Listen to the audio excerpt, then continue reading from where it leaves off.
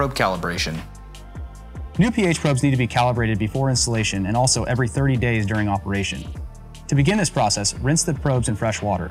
Place the EC probe in a 2.77 EC calibration solution and place the pH probe in a 7.0 pH calibration solution. Wait for the monitor to achieve a stable reading and then press and hold the pH cal button until pH cal appears on the screen. When the monitor returns back to the normal screen, remove the pH probe from the 7.0 solution, rinse in fresh water, and place into the 4.0 pH solution. Again, we want to wait for a stable reading.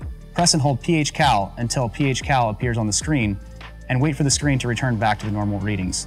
Your pH probes are now calibrated. Before installing the probes into the monitoring loop, wrap them with Teflon tape, five full wraps in a clockwise direction. Do not over tape the threads as this will put excess stress on the PVC fitting and could result in a cracked fitting. When performing your 30-day calibration, remove all of the previously installed Teflon tape before retaping the probes. A pick or small wire brush is a helpful tool to remove the old tape. The EC probe does not detach from the monitor.